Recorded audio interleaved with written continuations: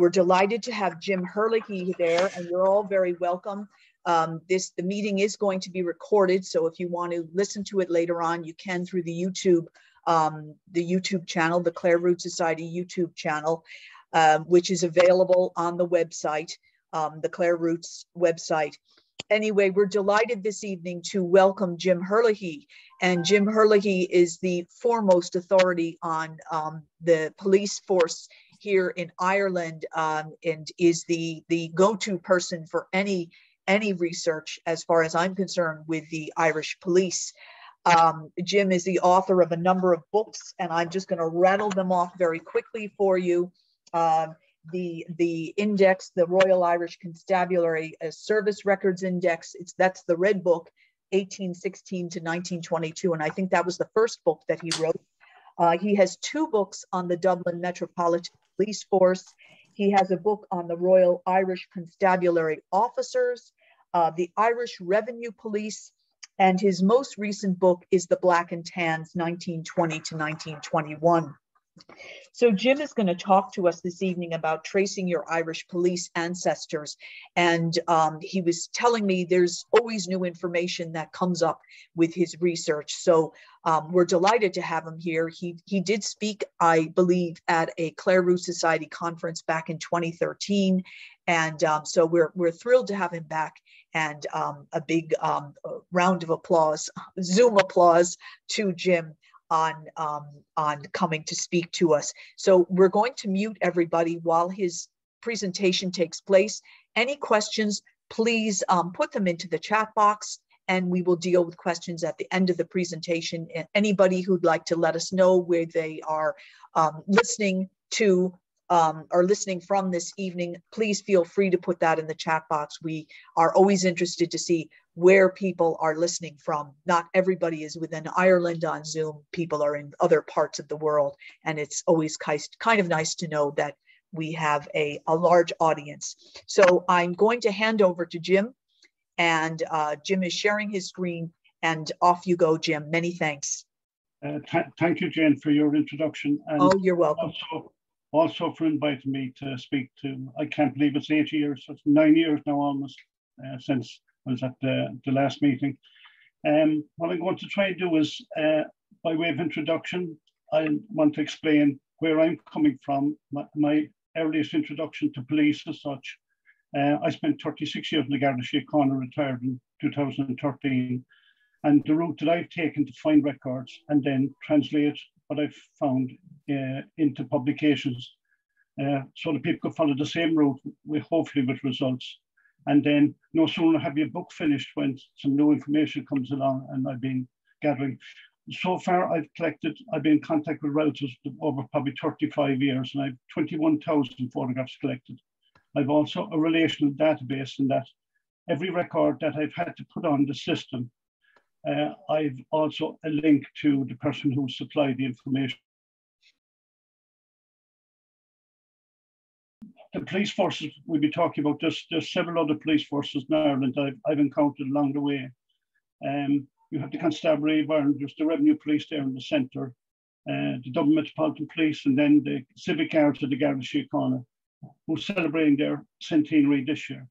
Uh, you have the Harbour Police, uh, the Dublin Harbour Police, the Belfast Harbour Police, and of course you have the Royal Ulster Constabulary, also uh, commemorating their centenary, which occurred on the 1st of June 1922. Then Little Harbour Police there in Sligo, and CIE had its own little police force from 1945 to 64. And uh, 100 years ago also, um, between the change of the Garda Síochána and from the RIC, there was still we know term criminality at the time. So there was uh, a little police force set up. Um, you can see it there, the, the last badge on the right hand side, Criminal Investigation Department, based in Oriel House, dealing with serious crime. This is my first introduction to police was um, Christmas 1958. I visited Santa Claus and I grabbed my parcel and I ran out the door and I got lost uh, uh, in Cork City. I went up the wrong street, and over the wrong bridge, and up to the north side. And I was in custody inside in the station, so it would have looked something like this at the time, a Shandon station. And that's what I would have looked at. One wearing a dress at the time, by the way. Um, now, just I get my uh,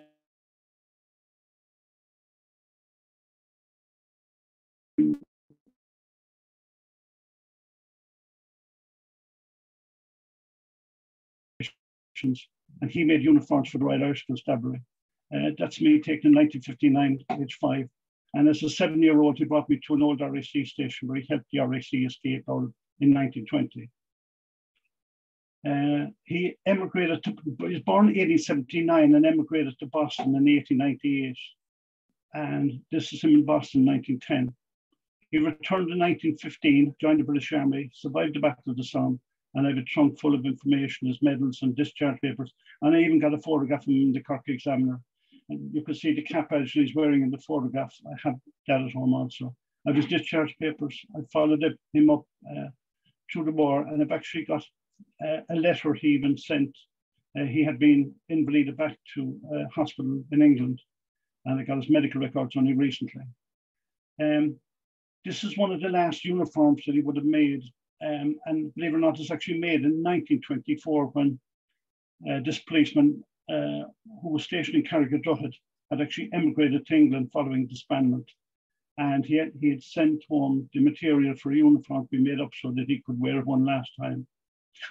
Um, the station, as I said, was attacked in 1920. And the story, just the story I had at the time was uh, one of the headlines was the fiddlers that beach in Fane. And the RIC, knowing that they were going to get out of the station, some guys started playing the fiddle inside, but I think there was a of poetic license used. In fact, I got a photograph and they're playing it after the event. Um, I was stationed in Blarney for nearly 30 years, and when I arrived at the station, I discovered that that station also had been attacked in 1920. So I tried to find out what happened, and I was lucky enough to track down the daughter of the last sergeant I brought her back to the station, walked her through the, just a photograph she gave me of her father who defended the station at the time.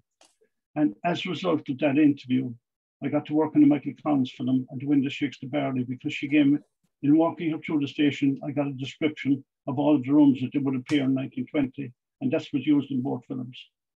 And um, this is the man who uh, led the attack on the station. And strangely enough, he's buried within probably not even five meters from uh, Sergeant Larkin. And he right back to the station. This guy had shot several people during the War of Independence, but in 1965 he right back into the station, and he told us that the clock was stolen in 1920, and one of the detectives met him the following day, and he brought back the clock. Um, I was uh, looking for information then, trying to find out who was in both stations in 1920. It took me so long to find out, but this is a person I met this lady rang me one day and she says, I have a live one for you. And I said, What do you mean? She said, My father's still alive. He was in the Royal Irish Constabulary. So I went up to Dublin and I've learned more from that man um, as a witness to everything that happened. And I literally ran out of the tape talking to him. Uh, he was ended up 74 years a pensioner. He died in 1996. Uh, as a result of it, then I came to write and compiled uh, one book on all. First of all, it was dedicated to uh, that constable. But I gathered up as many records as I could, mostly those who were killed on duty, short history and genealogical guide, and the records that I'd encountered up to that time. But in the book, there was um, about 2,000 people that would have got medals, say, went off to the First World War, volunteered. Uh, and then, as a result of, I kept on getting more and more information. So the book was revised in 2016, and I've added several other lists to that. For example, all of those who further medals, who served in the Crimea um, and volunteered for service, and uh, what other newer records and sources that came available since. Then I discovered that most of the regular RIC men were recommended by officers. And from 1816, even though this book begins, say, in 1816, or the index begins in 1816 up to 1922. But the Irish Constabulary didn't become a, a, national police force until 1836. And why I say it's 1816 is when the four provincial police forces were amalgamated, they said, Who have we now? So what they did was they got the four inspectors general of the four different police forces And they asked them, who's the most senior person in your organization that's now being amalgamated? So the earliest record went back to a person who joined in 1816. So that's how the records go back to 1816. They were still serving. It does not cover people who either resigned, died, or were killed before 1836. It begins in that, but the earliest one uh, begins in 1816 and, goes, and there's um, 85,000 uh, records, 83,500 in that plus the 1,700 officers. And these are the, the officers then, the 1,700, I did a biographical dictionary of one of those. In that book, there's 240 photographs. I now have in excess of 1,300 photographs as a result of descendants of those making contact with me. Um, and every day I get something new in it. Um, one of the officers I was investigating at the time for the book was um, Tobias O'Sullivan. And I've, only, I've recently discovered in the last few years that he ends up being uh, my aunt who emigrated to Boston, married his first cousin in Boston. I didn't know that at the time, uh, but you can see there I put a rose on it at the time and I found it, and I used grass to try and get the information off. And they came back a year later, and someone had cleaned it up. Now, what's interesting about it is that he was shot dead in the stall, and uh, one of his sons, um, that's in there, Tobias O'Sullivan, there's two sons, uh, and the other two policemen, that's his wife, who died shortly afterwards, and also his uh, two other relatives, who were also the six policemen in that family and the 16 in their family tree. Now, his daughter, or his son, married the stand in for Maureen O'Hara, the quiet man, Etta Vaughan.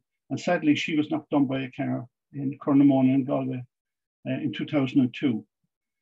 Now, another coincidence that came up was Maureen O'Hara herself. Uh, I discovered that a cousin of mine who was doing the family tree in Dublin literally actually owns the house where she was born. And I got to stay there. And about three years later, I was on duty in Blarney Garda Station, and this lady came in and she was just spitting him to Maureen O'Hara. And I, I, I said, you look like, like her. She said, I'm actually your sister. We're looking for directions. So I said, I tell you what we'll do is I pretended you're Maureen O'Hara would totally ignore your sister. And so I ran the blue light, escorted him to his house anyway. And um, she got out and I said, you don't know me. And she said, why? I said, I slept in your bed and she got great. Anybody interested in um, the conflict on both sides, I would definitely recommend. It's actually about his killing, um, but it's an extraordinary book on both sides' defense. Anyone would have to be moved by it. It's an extraordinary account, independent account. Now,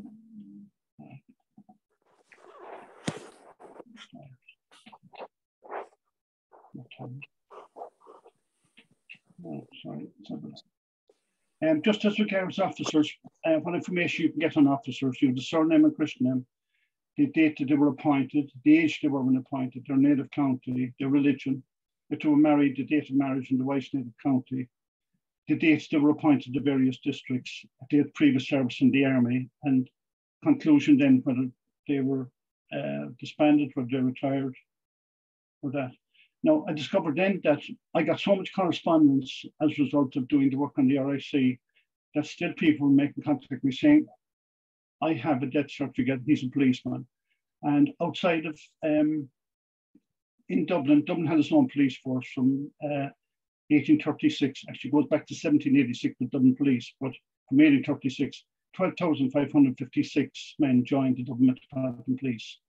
So I found uh, this, this register in the Garda Museum, it had actually been taken out of the skip uh, in Dublin Castle. And this is, uh, these are what the entries are like. Now, this has since, since my book came out, the book, the original rec register has been digitized and it's available on the UCD website.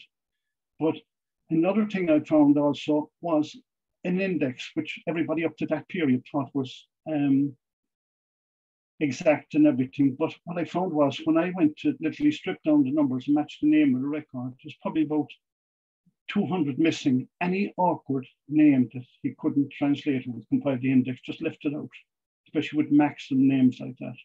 And I did a book then explaining what the Dublin Metropolitan Police was about. And they had a different, completely different rank structure from constable, detective constable, and they're in various divisions in Dublin, in Dublin City.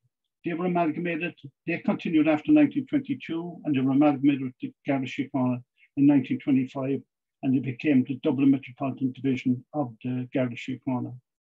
Now, I got rid of the myth straight away that every DMP man was over six foot. That's the records speak for themselves. And but they had, had done very cleverly in the divisions that were in the center of the city. They had the tallest men there. In other words, if you arrived up by train, you'd meet all these six footers all in around the city, and you pres would presume that all the others were over six feet. They were just strategically placed uh, out of Kevin Street. Then I discovered when I was going through the RIC records, I came across dual entries of admission in the Irish Constabulary from the 1st of October um, 1857. Uh, and I discovered that who were these people because even though the date of entry was the 1st of October onwards, there was also another date preceding that. And I discovered they were actually revenue police. Now, you have two and a half thousand policemen chasing poteen makers. And they had actually two ships to go up and down the western seaboard, uh, literally to chase them and take them out to the islands. And this is the link with the RIC. 498 ex-members of the Irish Revenue Police were given a month's pay for each year of service and next month's pay for loss of employment. 598 of the Irish Revenue Police enlisted in the constabulary on the 1st of October 1857. Another 28 of the Revenue Police became officers in the constabulary and 48 went across to Dublin Metropolitan Police. Some went to Londonderry Police. So a link again and they're the same people that were in both organizations, so you have more information on them. Um, and with the Irish Revenue Police, you had to be 25 to join, five foot seven in height. Uh, privates were not permitted to marry. If you got married, you got sacked. That simple. With an exemplary character, and um, he's only given a character reference, for example, for another position if he resigns. He had to at least two and a half year service. Um, I found that a lot of immigrants that would have joined stayed for about two years, gathered up the funds and used that funds then to immigrate because they, were, they had good pay for the time they was in it, but it was very hard work. Now, the police don't have any trust in the UK. Uh, remember, every policeman in the United Kingdom up to the present day, however, they also include and remember all the police in Ireland up to uh, partition in 1922 and I was able to add them to this book, their, to their memorial book, and they're remembered every year in, by them. Um, now, 642 policemen lost their lives.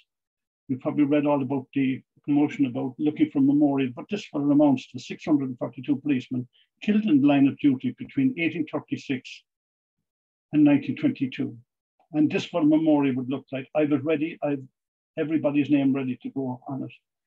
Um, and you can see the hassle there is about at the moment. But on top of that, also, uh, 100, 752 RIC men joined the British Army, volunteered for service in World War One, and 178 lost their lives. And they served in all these regiments. I found every single one of their graves matched with the War Graves Commission. A third of them were, tons, were sons of RA men. And finally, I just, as I, the last book, the most recent book is The Black and Tans, and I just explained briefly what they're about. Um, and, and Christmas of 1920, this is what the police force in Ireland, the RIC, would be made up of. Um, you'd have the regular RIC man. You'd have an RIC man uh, who would have had medals for having uh, served in World War One and volunteered you know, what they call the black and tan because they had short and a shortage of uniforms, and that's the reason they were brought in a short notice. You the auxiliary division, uh, the, the one they were wearing that crossbow with the ammunition on it. And then you had the veterans and drivers division. These were not really active men at all. They were brought in just as mechanics, um, mostly guys near retirement, um, just to do the fatigue side uh, in their camps. Now, this idea that they were all left out of prison does not exist whatsoever. Um, in fact, the records that have survived, the few records that have survived, show the extent that they went into to look at their background. This is a Form 3. It applies to every Irish and also applies to Black and Tan. It's just the form they would have completed. And if they had any scars or that type of thing was just marked on, you can see on the system there, just that's a summary account. There's also a medical certificate completed on the same form. And there's an attestation, just sworn note, also on the same form. This is number 80135, William Turner. Um, now, just explain briefly the, the different types, the ones that were there. You the RIC Special Reserve. What happened was uh, from 1st of January 1920, the RIC Inspector General said that he couldn't cope uh, under the present situation. So there was a recruiting campaign in England and they recruited 7,684 members of the, RIC Special Reserve. Now, these are men who supplemented the RIC men and replaced the RIC men. They were retiring, resigning, being killed on duty. And they went to a particular station. Uh, they were short of uniforms, that's why they have this black and tan uniform. But they, they built up the station numbers and 381 of them were Irish.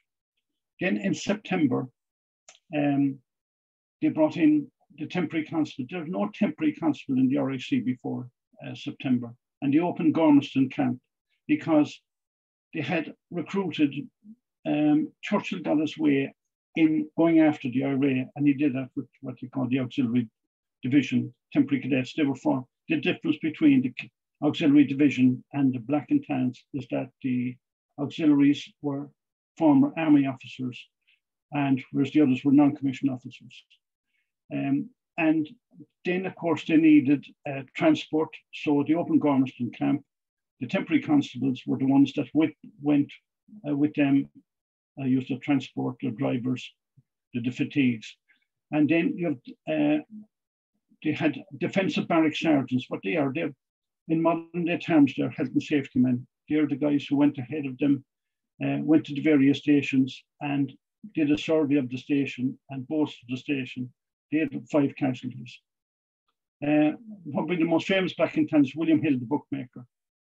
That's how he started up his business from the compensation he got a black in town. He was injured down in Midleton, uh, injured in both legs, and he applied for compensation and got it. Um, just a brief history of policing in Ireland. Um, first of all, you have the Baronial Constabulary going back to 1787 1822, very little records survive of those in, in patches unless somebody, there's again, if, it, if you've got into trouble, the best the best policemen to find and the easiest one to find are the ones who got into trouble, are the ones who, uh, unless something to do with finance, you'll always find great records. Uh, the British kept great records in relation to finance. Uh, they continued up to 1822. Then you have the Peace Preservation Force. They were stopped in 1814 and what they did was they were a task force. They had uh, huge difficulties down in the barony of Middlethird in County Tipperary. So they got a chief magistrate to go down and they brought 20 cavalry sergeants. And they literally cleaned every, cleaned out the place at the time. But the difficulty was they had no local knowledge. A lot of innocent people got caught up in the affray. So one thing, since they had no local knowledge, what they had to do was organize police forces in the various counties. So then they set up in 1822 what we call the County Constabulary, with four different provincial headquarters, four different types of uniform, four different types of training. So then they discovered, they decided in 1836 they'd form one national police force called the Irish Constabulary, and they put this constabulary black uh, plaque up on usually a whitewash station in the middle of a village, big house, and that became from then on one of the 1600 stations that they would eventually hold. From, and then in 1867, for suppressing the Fenian Rising, they were um, granted the title Royal, and then it comes to become the Royal Irish Constabulary. Uh, just other police forces that were there, you had the Dublin Police from 1786 to 1836, come to Dublin Metropolitan Police up to 1925, just um, Revenue Police up to 1857 with the Belfast Police and the Derry City Police, and they were both subsumed into the Royal Irish Constabulary. Um, the Belfast Police in 1865, and you had the Derry City Police in 1870. Um, then you had other police forces, Harbour Police, Irish Railway Police, uh, you the Oriel House Detectives, 1922 to 23, Um, the Cork City Police were set up by the business interests in Cork because the irregulars were holding Cork City at the time. And when Michael Collins was killed, his funeral was not policed either by the RHC or the Garda it was policed by the Cork Civic Patrol. And in fact, I have a very interesting letter. Um, in 1923, the man who was in charge of them subsequently became a chief superintendent of the guards. And he put in a claim. He hired a car on the day from Johnston Paris garage. I think it was one pound and 10 shillings to superintend his men along the route. And the bill had not been paid a year later. So he put in the claim for it. And I a copy of that claim recently. Then you have the Royal Ulster Constabulary formed on the 1st of June 1922. Uh, and they became the police service of Northern Ireland in 2001. Um, looking at the Peace Preservation Force, um, this is the chief magistrate uh, there on your that was sent down to uh, Sir Richard Willcocks was his name. He had been a Dublin police magistrate, um, and this is what uh, the Peace Preservation Force uh, uh, cavalry sergeant would have looked like at the time. He'd have worn the cloak, and that the significance of that cloak is nearly brought up to the present day with continuing on to the RIC and the RUC, in that with the cavalry sergeants, they, the RIC sergeant had his stripes um, on his lower sleeve. And with the cloak, when you put back the cloak, distribute the stripes, and that's the way the cavalry would have worn theirs also. Um, now, I came across uh, one of the biggest losses, other than what was lost in the Four Courts, I think lost to police was um, there was a Patrick Carroll who there were two Patrick Carrolls in the Garda Síochána. In fact, they had nicknames on both of them. One was called Pinhead and the other was called Puddinhead. Well, Pinhead anyway. Puddinhead becomes commissioner, but Pinhead becomes um, deputy commissioner.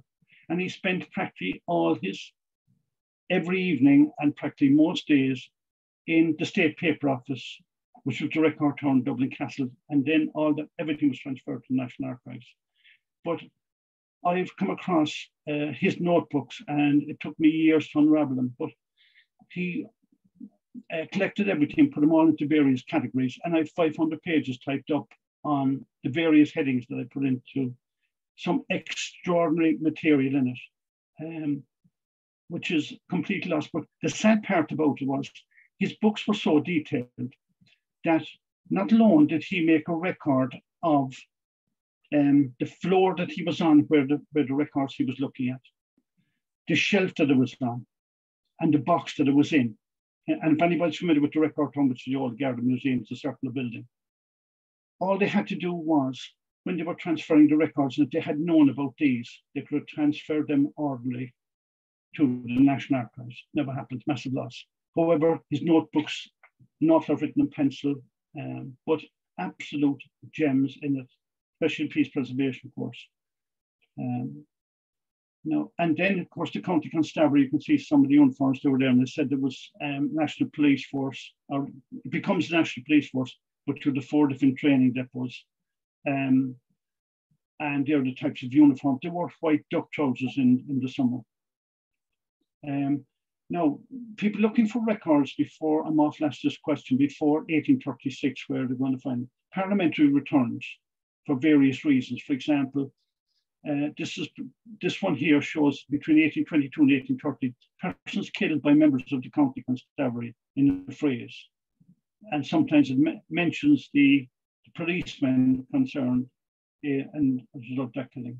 Persons wounded, uh, again, and then you have constabulary who were killed or wounded, again, uh, in a phrase. Some great details of information. If you had an so you know he was in a particular case, you might pick him up on that. Now, this is a very interesting one in that 1832 shows superannuations awarded to 175 members of the county constabulary. And you can see how much they were awarded and the, and the reason that they would have been injured at the time to, to get a pension. Uh, uh, in order to understand the RIC afterwards, you have to understand the uh, rank structure. Before 1882, you joined as a sub-constable, second class. If you kept your mouth shut and your head down for a year and had a clean record, you, you progressed to the first class. You were given a certificate. and you could not go for promotion unless you produced that certificate. Um, then you became an acting constable. Next rank is constable. Then you had a, a head constable, third and fourth class. The fourth class, or sorry, first and second class. The second class one had three stripes. The head constable, first class had four stripes. Again, the officer structure then was sub-inspector, county inspector, assistant inspector general, deputy inspector general, and then inspector general. However, after October 1882, you joined as a constable. Went to the depot as a recruit, but you joined as a constable. So a sub-constable becomes a constable, an acting constable becomes an acting sergeant. Uh, a constable becomes a sergeant. A head constable, there's only one. They were all based at District Headquarters Station. You never find them in the small station. A sub-inspector becomes a district inspector, and the other ranks, top ranks remain the same.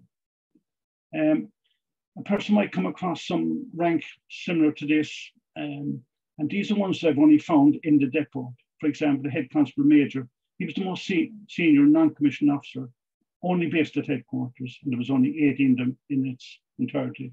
There were a total of five bandmasters the whole way through. You had a hospital constable, bugle major, farriers, of course, for the mounted troop, and the depot surgeon was based there. Um, now, the instructions all had, every recruit had to fill out something like this. Uh, there's something like over a thousand, what I say, um, records in the code to explain about what, what the code was, code of instruction. The code was for internal regulations, where the guide to the act of parliament was the other one they was studied. But they literally had to write down every one and learn it off. And this is one that survived from February 1845. Now, I come to the service records. What has survived are not the complete uh, service records. People often get confused with it. What has survived is what we call the register of service. And the register of service is only a summary. The main file, and I'll show you one shortly now, what would have been on the file and what's completely lost. There's only samples of those kept in the Public Records Office, in two about six files. And it's a shame what's, what's gone. But the numbers begin with uh, the good thing about finding an ancestor in the RIC is that once you find them, you can pin everything to his number afterwards. Um, and it makes it very easy. For example, 834 Murphys in the RIC, they all had a unique sequential number.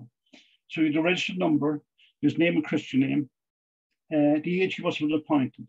It'd be 19th of June, but if your father was in it, you got a year off the age. It'd be five foot nine to join, but if your father was in it, you got an inch off the height. Now, I learned that from this guy, Kerrigan, the RIC man that I interviewed, because he said, I know, he says, I, I squeezed in on the both counts. Um, you, you could, uh, your native county is given. Uh, sometimes there are two native counties given. Number one, if there are two on the service record, it means that the second county, one is where you were born, and the other one is where you would have been listed from. Uh, you could be working away by the time you join the RIC. Religion, if there's a change religion, there's a line driven through and the date of the new religion taken up. If you're married, you have to seven years service before you're permitted to marry. Uh, the wife was vetted, they don't say what vetting is, but you couldn't um, you couldn't be stationed in your wife's county or your your own county. Or if you had other relatives um, stationed in another county, couldn't be stationed there either. There must be some formula for that. Um, now, then, if you were, in order to join, you had to be recommended by a magistrate. The vast majority recommended also by officers in the constabulary. Uh, you are a justice of the peace who, had to be personally known to you.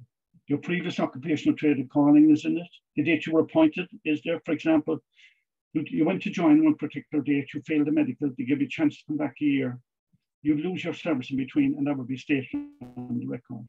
The other reappointments would be those who uh, joined, volunteered for service in World War One, came back, and they would get the benefit, and it would on the record it would say benefit of previous service in the Royal Irish Constabulary and the Army, and say five years down to days, and there would be there for pension purposes. Uh, the county's allocation, the date you were promoted, uh, all the way up to various ranks that data is given. If you've got any rewards, fines, or punishments, they're on it. If you've got any unfavorable records, they will take note of, especially an awful in relation to drink and the fine went up. and finding warrant, warrant you'll see on some of the records, that's warrant towards dismissal. You're heading on the slippery slope. The date you were discharged, dismissed, pension, went on pension, that's also. If you had an injury, the date of the injury is written on it. And then if you died in the service, the cause of the injury is written on it. And another interesting thing about that, those entitled to pensions uh, up to uh, 1919 are only the only Irish seamen who got pensions were those um, widows' pensions. The only ones who got widows' pensions were, uh, were the widows of men who were killed in the line of duty.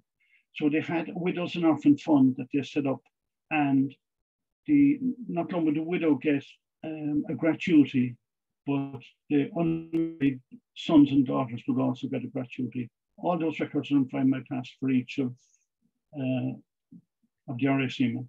There's remarks column then at the very end of it. And CONTD in it connected. People think continued or this type of thing. It's not. Well, it is. Uh, it's the county in which you were connected uh, at the time. In other words, in other words, it was the place you were not going to be transferred to by having relatives in that particular place. Um, now, this is not a parliamentary return I found very useful in that where you find an RIC man is recommended by a Justice of the Peace. This is a complete Justice of Peace for the country in 1882.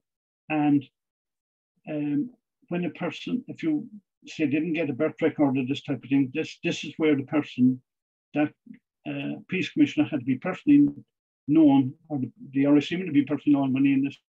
And this is a great reckoner to see where that person was living at the time. Um, just as regards looking into stations, this is Carrigadal Station, as I said earlier on, where my father helped the RIC escape over in 1920. Uh, and this is the other station where I would have been in the guard for the best part of 30 years. That's the, the both 1900 1910. Both attacked the same week in 1920, and that's that was the result.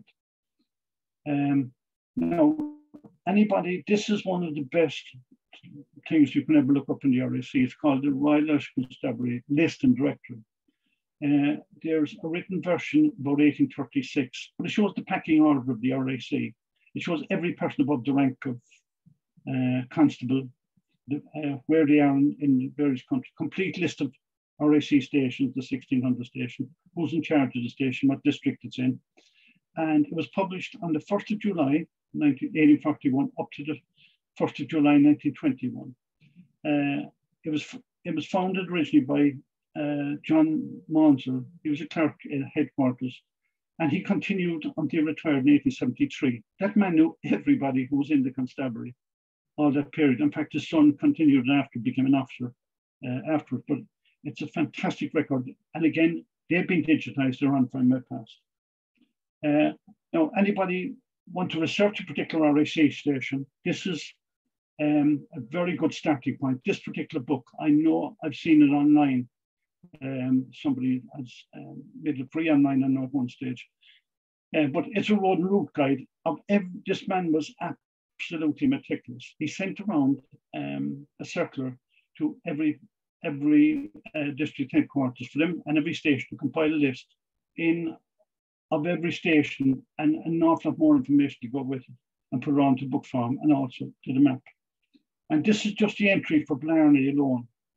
Uh, Blarney is a village populated, this is published in 1893.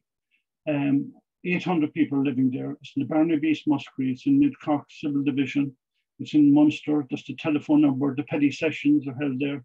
Um, the Cork and Town services the area, the railway services the area, the time the post arrives in the morning and goes in the evening.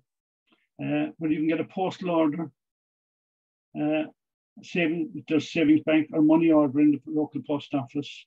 Um, the nearest physical feature uh, and the sergeant in charge at the time. But more importantly, all the other stations in proximity to it. Uh, for example, Banner Bridge Station is four miles. And what it is, if you stood at the door of Blarney Station and you walk three quarters of a mile, you turn left, walked another mile, all the way over, you'll eventually arrive at Banner Bridge Station. Now, if you think that's good, when he was in Belfast, he even said whether the streets were tarmac or not. Uh, sadly, the man committed suicide. Um, I found his grave, he's actually buried in Mount Jerome Cemetery. Now, this is a book I'm working on at the moment, and thanks to the pandemic, I've been able to literally type up all the service record. Now, these are not lone stations. These are the temporary huts during the land wars um, that were uh, sent to uh, dangerous areas at, at the time during them between 1881 and 1883. 440 members of the Royal Irish Constabulary Auxiliary Force were brought in. Um, and you can see the guy that's in there, he has a white epaulet. They, they were known as the magpies because looking at them in the distance, in the strangest of places in the country, look, look like the magpies coming out of the ditches. They relieved the regular RIC. They're mostly, it's like the real forerunners of the Black and Tans, but they didn't take part. All they did was, if there was um, an outrage, for example, a landlord was intimidated, and it happened again and again, they decided to put drop one of these huts. It was like an IKEA hut that was came down by train, uh, put together. You can see the numbers and the kits that were uh, that were used uh, to do it. Furniture came with it. The stove, they stayed in it until uh, the matter was dealt with. Uh, I've, I've tracked every single one of them at this anyway. There's 440. Um, and only about a dozen of them joined the RIC afterwards. And of the, of the dozen, it's about eight, I think, died kind of prematurely because they'd been out in all sorts of weather and wettings and TB and they got afterwards. Now, when this is the type of information that last there would have been on on a service record at the time that, for example, let's produce your birth chart. This is an example I have of on one of the few files that exist in Kew, in the Public Records Office. And this is Alexander Tissel. No, this is his birth certificate. I just put in his parents' marriage certificate to show he was. And he's born above in County Cavan. Now, when he presents him at the station, uh, you can see his application to join the RIC. The photographs I put at the side are actual photographs of those who signed it. As I said, most of the officers got at this stage. Uh, please have this candidate attested and sent to the depot in the usual way if found fit. This would have been on everybody's record before he was sent off. The candidate may attend here, the district inspector here says it, and then please comply with my minute, uh, comply with, I beg to report that the candidate will attend as directed. And that's what Roland there, the man at the very end is saying he's been sent off. And then uh, you can see he's, um, I beg to report the candidate for, oh yeah, as I mentioned before, if your father was in, you got a year off the age of an inch at the height, he was bordering on the uh, 19, wasn't quite 19 at the time. So he asked the question, the Blind Chancery can squeeze him in quick uh, because his father was in it. They could drop down the age to facilitate him. Um, then this is the form he actually completed at the time. Uh, and this applies to every RSM down through the years. The question around. Then there's a medical search. When he's sent up to the depot, there's a, first of all, he attends a doctor in the, his own area and arrives with a certificate. It's double checked above. Then the oath is also written into the one form. And again, on the other side, if there's any scarf that's written on that's the form filled up every recruit near received. Then he had to undergo an examination in arithmetic, addition, subtraction, multiplication, and division. And then he had to do some dictation. That's his original one. As I say, to every RIC man. It's a shame that's what have been under fire. And then it says here, red copy, I beg to state the candidate was attested, found fit, and directed to proceed here to the depot on this day. I'm afraid that if the candidate would be subjected to intimidation below to go back home, I direct him to head, head there straight away. This is 1921. He arrived in the depot, and that's what he would have faced in the depot, which is now Garda headquarters. Uh, and then his recruit training, he'd be measured up. Uh, he would have gone to classes like this, then he would have done training. He, one of the things he had to possess was uh, a suit of clothes. Uh, this is first aid class, fire drill. And I tracked him afterwards when he emigrated from Derry to New York in 1930. He joined the US Army in World War One. I'm sorry, World War II in 1942. And sadly, he was drowned on 23rd of April 1944 in the lake. Um, now, this is a type of photograph a lot people who interested in the RIC probably turn up for the first time. And the pillbox cap, that, that's before 1900. You can say this William Debris, just an example of type of uniforms that would have come across. Uh, he'd have got an ID card. That's what an ID card would have looked like at the time. with his registered number on it. This is him as a sergeant and his family. And then when he retired, he was given a parchment certificate of character. Uh, a lot of relatives have turned up with these signed by the county inspector. He would have got that when it was blank, and he had to go to the local district inspector who was familiar to him, his last officer, and that would be filled out in his presence. That's where he gets the physical description. He'd also get another record telling him how much his pension would be. The seal would be applied to it and signed by the county inspector. And this was his pension record, which are on my past on them. Um, and this is another idea that he got afterwards then when he went to, ended up in England. Now, it's very interesting thing about the medals. Just there were three royal visits, 1900 Victoria, uh, Edward VII, 1903, and King George V in um, 1911. And that's both sides of the, of the medals, the lower medals, ones and, on the lower one. Uh, Queen Victoria. Um, actually, what's on the front of it there, you see this, this second one from the left, is actually Hibernia welcoming Victoria in the ship. Uh, and the same, except the date is different in 1903. Now, on a lot of the uniforms, you'll identify uniforms after 1903 by the lighter ribbon you see over the left pocket. Uh, in 1911, then, these were all named with the rank and at the, they had the time, so they're easily traceable. Uh, to 1911, if you were on the route of King George V, um, you would have got the one to green, the dark green to red stripes medal. And the other one was a special medal, which Royal Irish Constabulary, which is quite a rare medal. Think only 500 of those were, were issued. These were those who um, who had distinguished service, uh, and it was the imprimatur of the king at the time to for those who were recommended to him to get those medals. Uh, the top right hand corner are the Royal Victorian medals they're still being given out by, by the Queen as a special token of the Queen on various visits. The South African medals, some of them would have gone to the South African War and they'd been wearing these medals. And some of the officers in the RIC would have worn the one the extreme left uh, the silver medal, Queen Victoria. So. Um, now, disbandment of the RIC, 180 only transferred to the Garda Síochána, 788 went to Palestine, and 1521 um, transferred to the Royal Ulster Constabulary. I have those lists completely finished. I matched their service records with the Garda records, the Palestine Police, and the Royal Ulster Constabulary. Um, and I have the registered numbers that they would have those. So it's another avenue to follow. And I hope to do something on the aftermath of the RIC to see where they went after. Some people want to find out what happened. Um, as regards the Palestine Police, uh, Palestine Gendarmerie becomes the Palestine Police in 1925. Uh, it was made up of the RICs. These would be black and tansmen out there. Temporary constables went out. Regular or old RIC, the auxiliary division, and the ones who were not RIC. But the total set it up at the time was 850, predominantly Irish, predominantly Royal Ulster Constabulary, or Royal Irish Constabulary. And this is uh, just what the Sunday Independent saying this 100 years ago. And right the constabulary, then you can see 1076 transferred over. I've seen some of the books from the 1st of June of 1922 in the RUC, and there's no difference, just the word Irish was line drawn through it and Ulster was put in. Um, and then this is the total, 1521.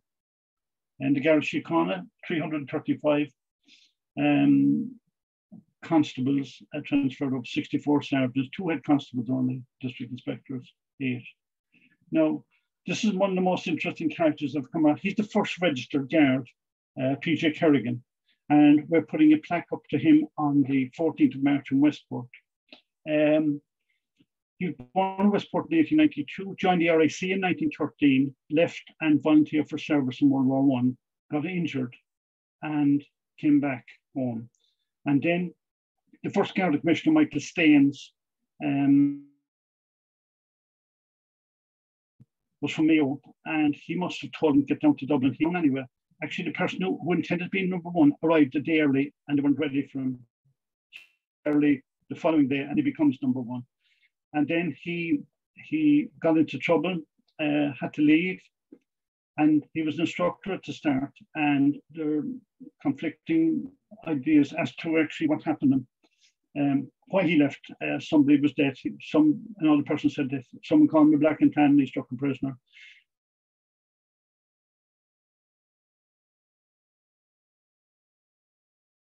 But the or the, the civic guards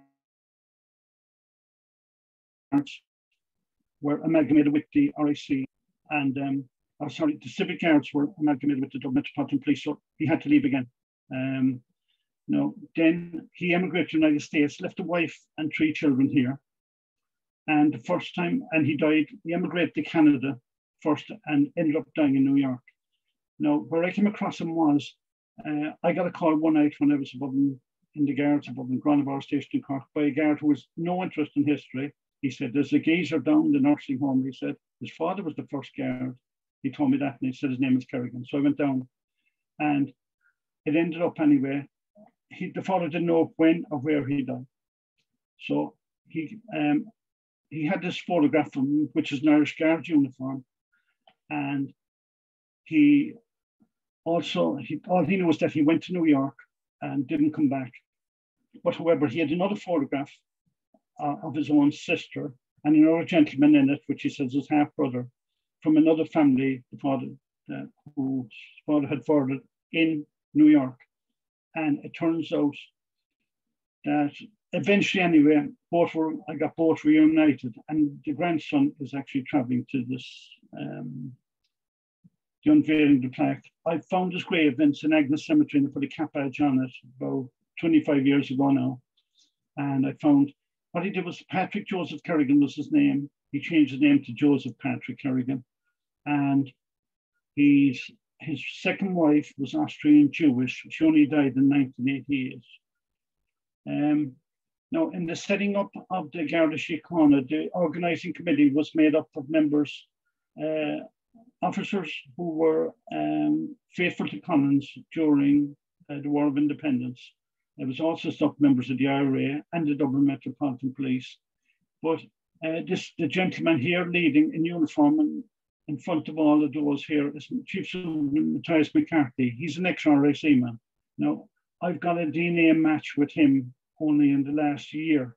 Um, he's an ex-RIC man, uh, joined Civic Guards as a Chief Superintendent. One day he's uh, a sergeant in the RIC, next minute he's the Chief Superintendent of the Guards. He led the Guards into Dublin Castle. That reenactment was done in 1997 for the 75th anniversary. It's been done again in August.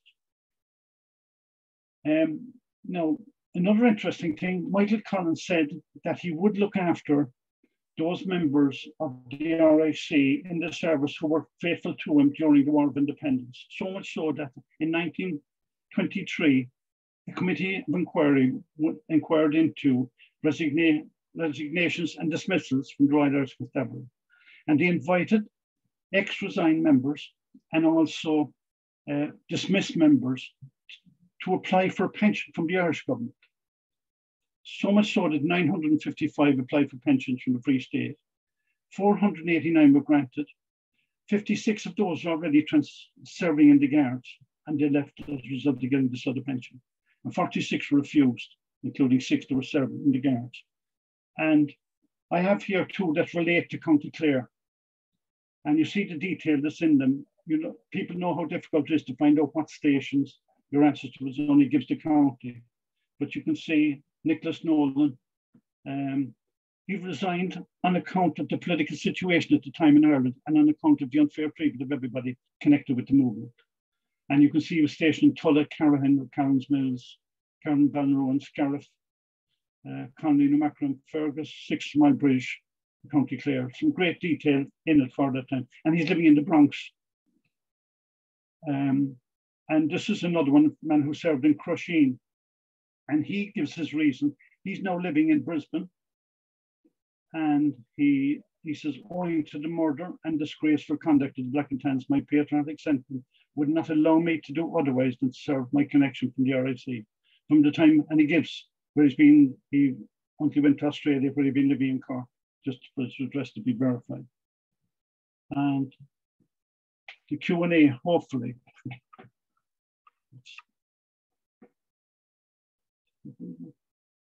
That's fantastic. That's really, really interesting, um, Jim, the information that you've shared. And like with all your books and some of the other information that you've given us, there's there's a huge amount of um, material there to go through. um, for anybody that is getting into the RIC or researching RIC um, or, or some of the other police forces, their ancestry. So I'm going to go through from the top um, from the top of the chat, the chat box down. Um, and I'm going to start with some of the questions here. Are there photos on the original files for men who joined up to the 1880s in Kew? And this is a question for Michael McNamara. Um, uh, I've never seen it. No. First of all, um, there are very, I don't think there are any well, we're talking about the index, or what I say, the summary, the register of service. The original files do not exist, not alone. Um, all that exists is just a summary that's on, on the registers. So there's no, no photographs with any of those? No, no photographs. Okay. Unless, unless in private hands that people have themselves that they got okay. there. Okay. Um, that's okay. All right. That that answers one question there. Um, let's see now. I keep going down here. We have a few other questions. Um, we have a gentleman here who's joining from Galway. He has 13 plus ancestors in the RIC, including a great grandfather and a great great grandfather. Um, is that something that it tended to um, it, it, families tended to go from generation to generation as a matter interest okay absolutely definitely um, and also you'll find that uh, daughters and granddaughters married sons of RICmen because okay. they all mixed in the same social circle right and that, okay. that's, that's really the primary and you'll you'll find you'll probably find a lot of those joined at age 18 the word got around that you got the ear off the edge and an inch off the height. A lot of them guaranteed it had to happen. Even some of them said they applied when they were 17 years and nine months, hoping by the time they, they are squeezed through. Right. Because you can see, you saw in one direct course there where they were trying to squeeze the guy in. Uh, yeah. just to get him in in time. Yeah, there was that favoritism there. And of course, someone like that joining at the time, he would be really off to a good start because he'd have heard all the lingo down through the generations and with siblings and uncles and aunts and all them talking about it. And he would be very and he would be very well versed and helped coached along then by other family members. Okay, okay, very good. Now somebody asks if I only have an old photo of an RIC member, is there any way I can identify who he might be? And she says, or he, it's Leslie, I'm not sure if Leslie is male or female.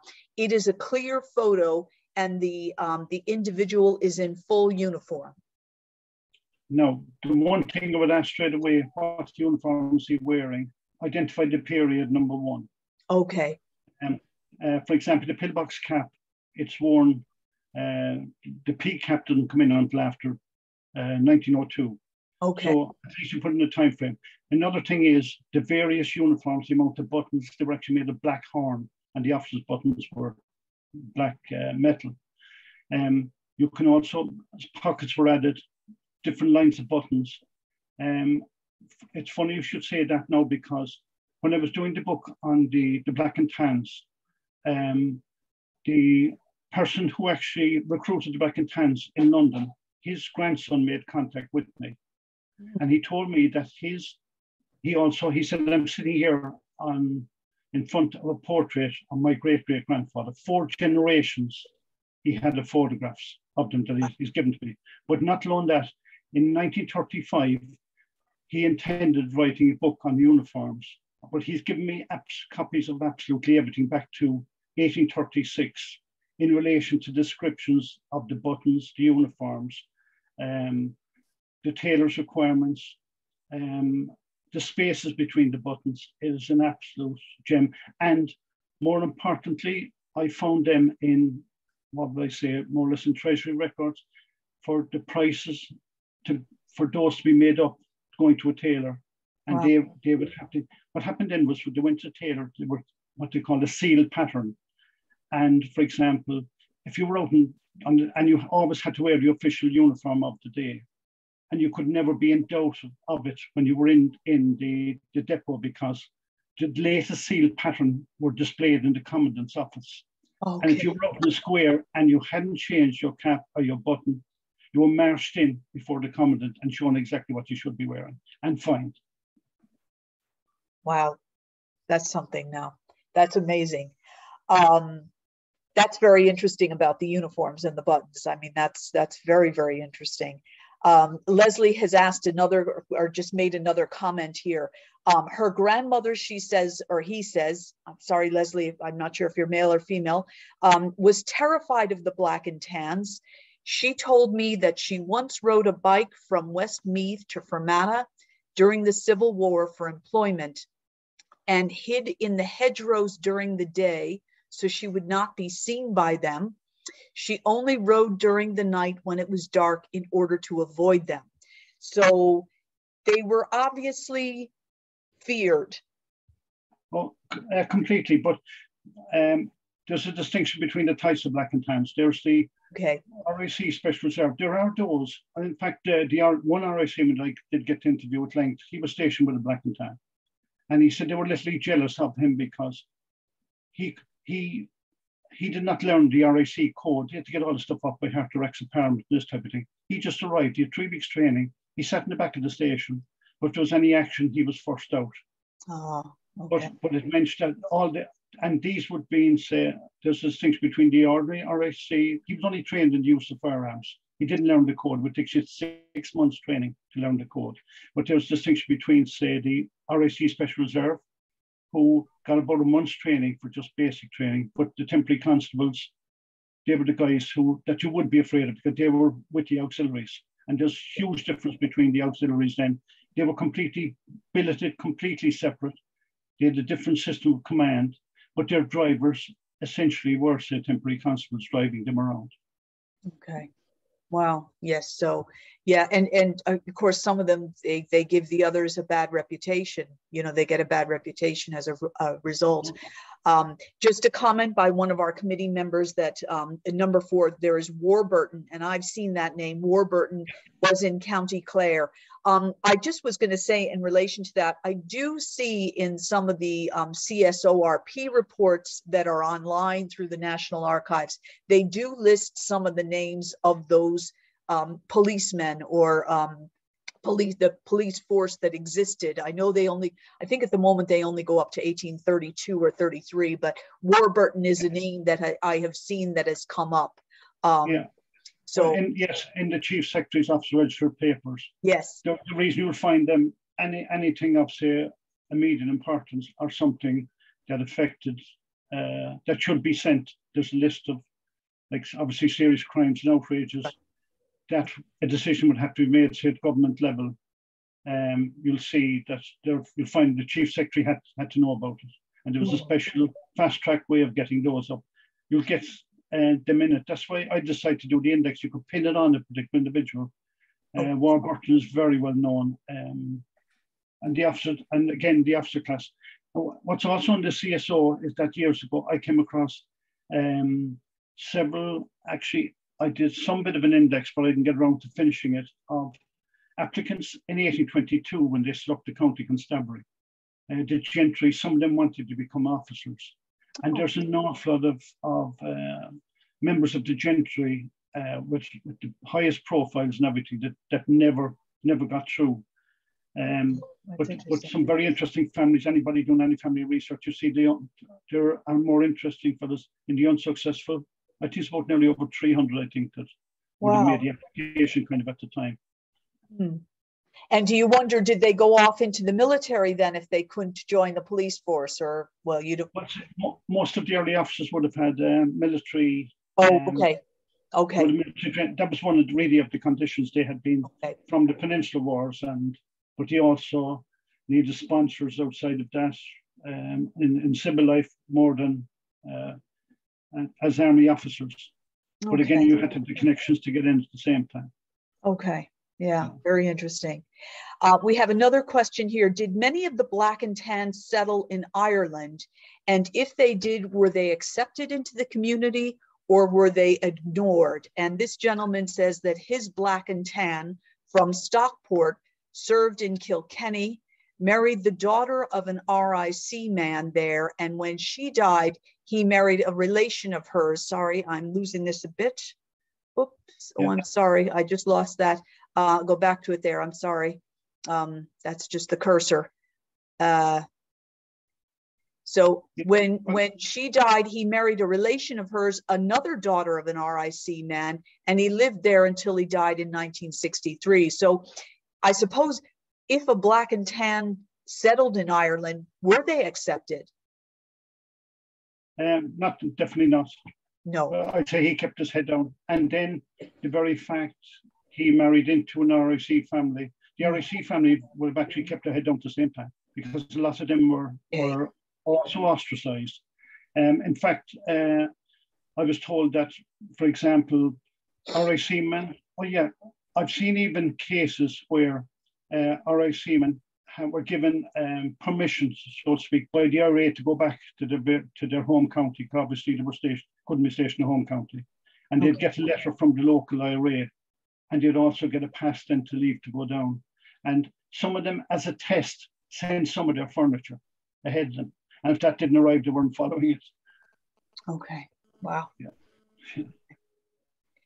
Yeah, that's it. But if he was one of those, he definitely would have to be in the Black and Tan Book of Dead. A complete list of also separated the Irish. Okay. So he'd be in Black and Tan's book that you wrote. Okay. Okay. Yeah. Great. Great. Now I'm going to keep, we have a couple more questions. Here. Now we have a question. Why did some of the men choose to go into the Palestine gendarmerie? Uh, number one is they would have got a pension from the RIC, okay. uh, which was around 50 pounds and 14 shillings for the year.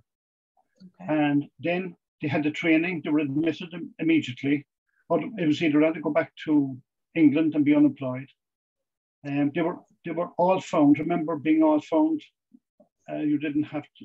Uh, it was it was really they were they were really um, completely kept, doing the same job, and they had the same camaraderie, camaraderie, the same all their all their friends were going with them and this type of thing. But the good point afterwards for them is their RIC pension was suspended when they joined another police force. However, when they when they left the Palestine police, they also resumed their RIC pension. So they, they ended up with two pensions. And the other thing about it is that from 19, uh, the 1930s onwards, the RIC pension was index linked. The RIC man that I interviewed was 74 years a pensioner, never worked again a day in his life. Wow. And um, they, they, they, did, they did very well out of it afterwards. Okay, that's interesting. Um, we have another question was there an well there was really but this it's a very good question. Was there a legacy of antagonism towards the ric men and families? If so how long did it last?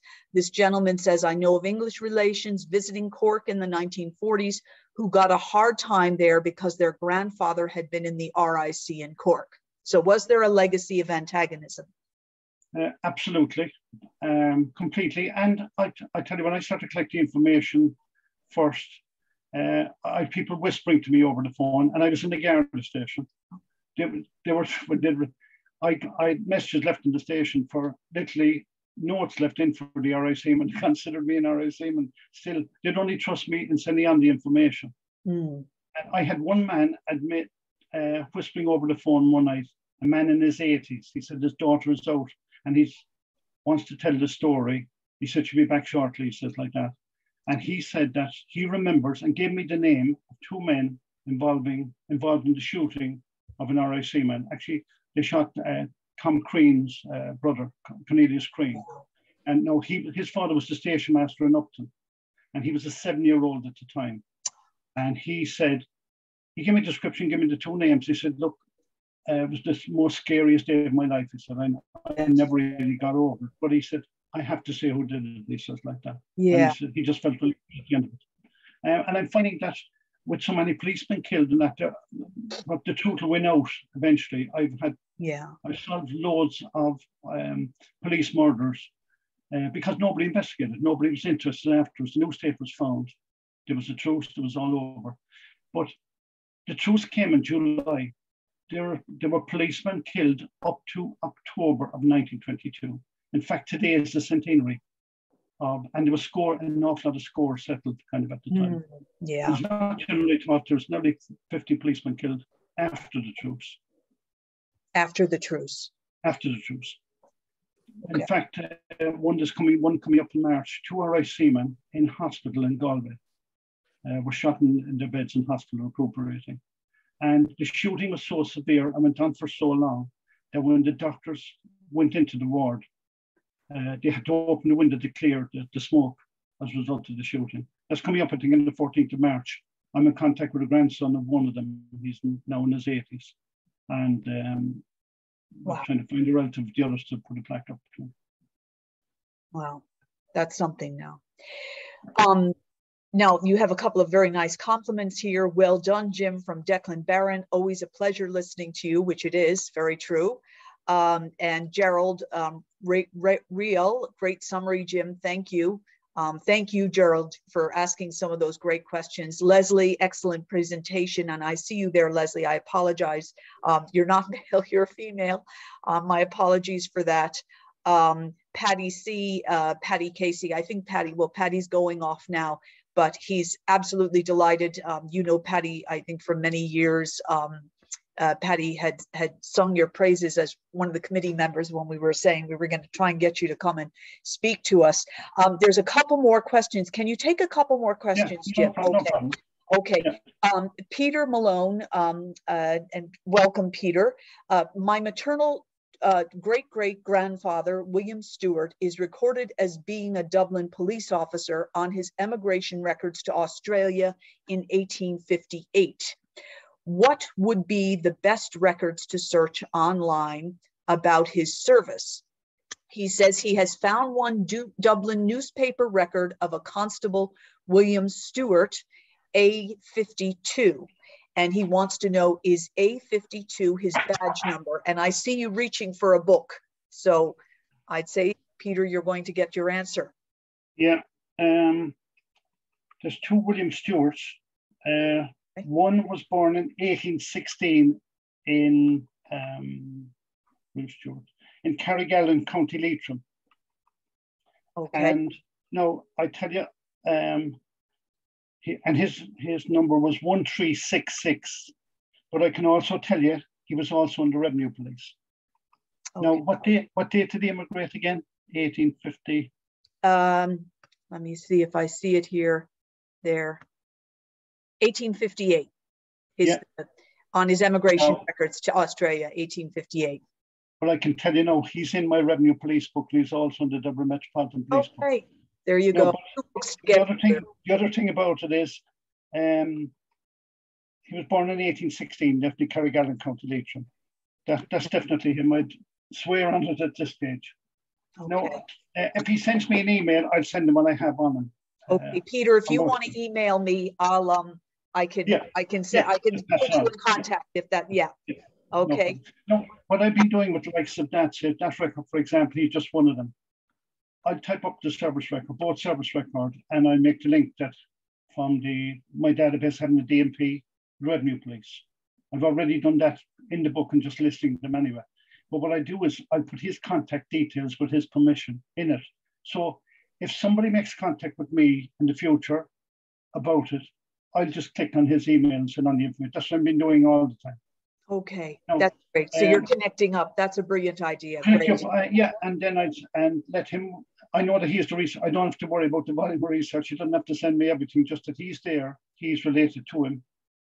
And uh, now the, the other the other thing is people don't the very fact that the, the DMP records are fascinating in that the difference between those and the RIC records, they give civil parish. Okay. Which and uh, like a person joined 1836 to 20, his one he's 20 at 1836. That's the civil parish of 1816.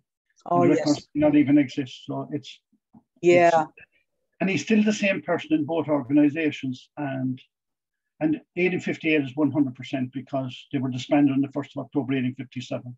And by the time he got himself together, not a few months, he's gone. Okay. Okay, that's great.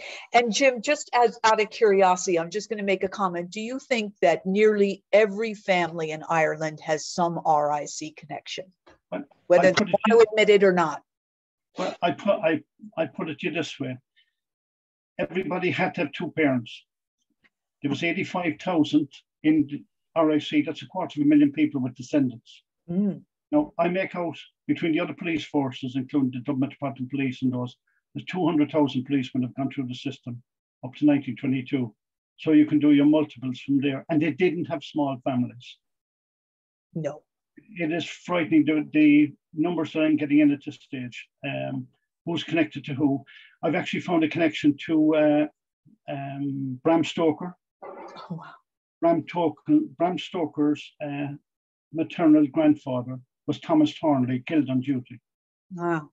I found one to Napoleon Bonaparte, the Bonaparte Wyse family above in Wexford. Um, there was an officer in that family, uh, Patrick Wise, he was drowned above in Galway, and he married into Bonaparte Wyse. That's what that connection. Okay. There's hardly found in the country that said it's like there was 834 Murphys in the RIC.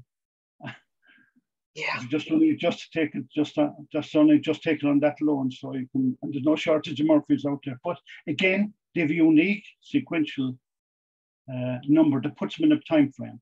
Mm, Like for example, I took before. It's only when I finished a red book, when I had a complete index, that I knew that everything that I would get in would be a hit. If it was RIC, it had to be one of them. And the beauty about it, for example, uh, say the numbers were up to 30,000, say in 1870. mm, Person tells me uh, my grandfather uh, joined about 1850. I don't have to even think of anybody after that date. And I can find exactly, just, it, I'm in a small window frame within at that stage, but here's the information and I put it in. And then uh, another way people, usually people starting the family tree want to go straight back to great great grandpa straight back. They never think about going out. mm, yeah. But when they do go out and they find out RIC and someone in records, um, it, the, line extends again, and you'll find them again with the same pattern. The word got out about this was a pensionable job. Yes. Yeah. A- And I found with the revenue police, they, uh, there it was so difficult for them, but they gathered up the money. They worked hard for about two years, kept their head down. And it was one way of getting cash straight away to immigrate Yeah. uh, in the late 1850s. And I'm in contact with countless different police forces. I've got, as I've been going through the records, say, um, the Royal Canadian Mounted Police, the curator there, Victoria Police in Australia, uh, they match records with me. And I've done the same with the Palestine Police Law Comrades Association. One meeting with them, You're frozen there. Hopefully you'll come back. every time. Good. Uh, in fact, uh, the, the posse that was led to chase Ned Kelly, the couple of DMP men and relations of DMP men. In fact, one fella that he shot uh, was the son of a DMP man. And great grandson also joins here in Ireland. And two families that were involved in the posse, both their relatives are now serving the Victoria Police. And they made up one particular day as a result of it. So Wow. Yeah, it's amazing. never ending. Never ending is right. When do when is your most recent book going to be out? Just Um, the next one, I'm, the one I'm doing on the Irish, uh, Royal Irish Constabulary Auxiliary Force. yeah. Um, yeah, I, what I did, my intention was to find all of the huts. I, I found all of those. I found all the protection posts. Okay. What happened was, say, just briefly, in a particular area, if there was, um, say, a landlord intimidated and it went on, knew it was going to go on, then um, they decided then at headquarters, we have to put protection there. We can't leave all the ordinary receiver. This hut is requisitioned, and the hut is comes down by train. There's all types of intimidation on the way about they're not allowed to unload it, there's strikes, there's all this type of thing. Eventually it gets landed out in this particular place. Hmm. And it's out there. And the, the records are similar to the RIC records where they're deployed and this type of thing. But there's there's 440 of them recruited from Ireland, England, Wales, and Scotland, mostly ex-soldiers, because straight away they're only here a week and they're off. Um, they were off uh, campaigning. But uh, when they were being recruited at the time, uh, they didn't want ex-RIC men to join. And what they put in was, it's not going to do anything for your pension. So not too much, I don't think, I've yet to find one that did uh, join um, at the time. But um, probably in, in, the next six months, I, as I said, the lockdown was great because I'd intended just putting in the basic information. I ended up typing up to 440 servers records during the lockdown. So Okay. Just easy there, there was a temporary RIC hut just down the road, so I'm I'm going to be very interested to see your book now. I, I'd be looking forward to that when that comes yeah. out, um, because I know with um, the land rates. sorry, go ahead. Yeah, well, you can actually link it. The people they were only allocated to certain counties, so you can literally map land war. Anybody doing any research in war will have an absolute field day because um, above, I know in County Mayo um, what's the chap above there in the museum or in the, the centre. I made contact with him with one hour conversation one night. And for every hut that I named, he named the landlord. And he knew yeah. the event and what happened, why, why it was there and how long it lasted. But what the RIC did was in their RIC list, they published the list of first because it comes like a temporary, it eventually becomes a temporary station. When when even when they move out, it becomes a permanent station. That's why an awful lot of the stations are in the most obscure places. Mm. Um, yeah. Because it came in as a temporary uh, hut, mm. and then the problem persisted, and then eventually, and there's um, couple of attempts to try and burn them out and this type of thing. That's right. You can yeah. see the inside. There, there, was metal on the inside, and there these holes to fire shots out of. They had all these the hammocks inside it, and mm. there's even a description on the upkeep of the hut. Uh, the landlord scored because he was actually paid. Uh, they had to pay rent to him to put the hut on this, even though he was being protected. Okay. Um, and then uh, the manning of the hut, the, the cost of it, um, a phenomenal cost, like kind of uh, for, for that short period, but they, they literally wiped out the problem. You could see the scale of, of the amount of um, things that were happening to start from 1881 up to 1883. They, they think got rid of themselves. They did such a good job. Mm. Wow, that's great. Well, listen, Jim, thank you so much for your um, for your talk tonight. I mean, there's so much to absorb with the the information that you have gathered and um, the information that you that you have from all your years and years of research. So many, many thanks for that. Um, I will pass on some of the emails that I talked to you about earlier um, for people that couldn't be here. I just want to very quickly before we sign off to let our members know that we have two more talks scheduled for this season.